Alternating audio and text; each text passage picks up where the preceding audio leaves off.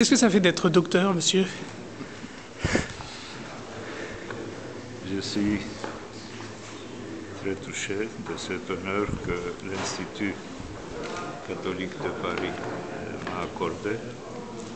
Euh, je l'interprète comme honneur à mon église de Constantinople, patriarcal œcuménique, et comme, comme une euh, reconnaissance de notre travail humble pour l'environnement d'un côté et pour l'unité des chrétiens de l'autre côté. Je suis ému, je vous remercie tout le monde qui a assisté ce soir, les journalistes, les médias qui s'intéressent. Merci.